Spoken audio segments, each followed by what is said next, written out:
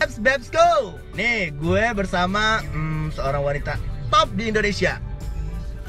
Hai, Emang sebelumnya nggak ada yang top? Eh, top terus. Sebenernya Batam nih, kayak dia di Batam nih. Bang Bill,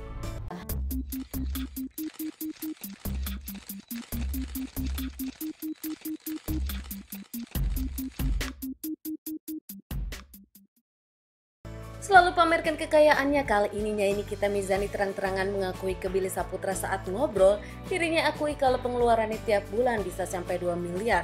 Tentu saja pengakuannya membuat Billy kaget. Namun Billy menjadi saksi kalau Nikita Mirzani kini kerja keras untuk anak-anaknya dan mendapatkan banyak pundi-pundi keuangan dari pekerjaannya. Masih dengan pengakuannya Nikita Mirzani ke Billy Saputra kalau 40 juta hanya untuk rumah saja termasuk listrik, maintenance, pembantu sama bersihin kolam renang dan lain-lainnya itu masih jauh keperluan rumah saja.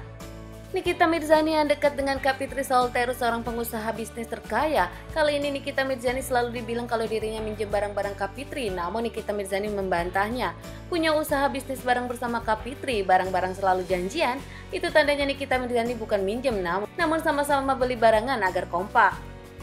Baru-baru ini pun Nikita Mirzani memamerkan mobil mewah yang diberikan kepada anak-anaknya saat ulang tahun. Nikita Mirzani yang menyadari anak-anak masih kecil namun anak-anak perlu mobil untuk keseharian mereka seperti sekolah dan juga pergi jalan-jalan.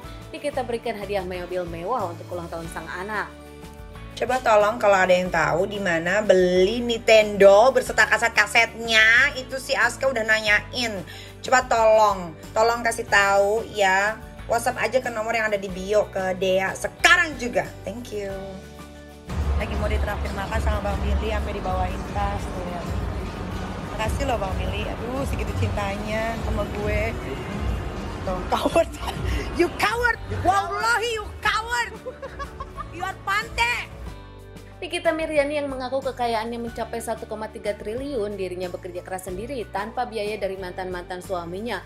Punya tiga mantan suami, tiga anak, Nikita Mirzani mengaku tak dibiayai mantan-mantan suaminya.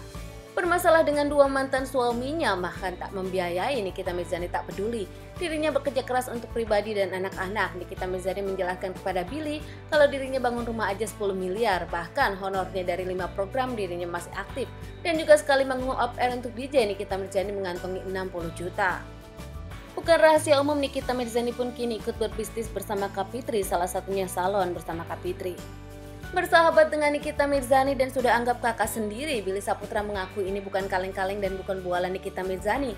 Dirinya pun menjadi saksi dari perjuangan hidup seorang nyanyi Nikita Mirzani dan kini bangga dengan kesuksesan seorang nyanyi Nikita Mirzani yang membuktikan kepada semua orang. Pagi, jangan lupa nonton pagi-pagi pasti happy. Ada aku sama kakakku, Kak Fitri Salutero. Dan minta tolong semua untuk abang-abang aku yang merasa aja abang-abang aku. tolong ditonton ini bagi-bagi pasti happy biar tahu. Okay? Hey Kepalans, click here to subscribe, click here for our most popular video, and click here for something just for you.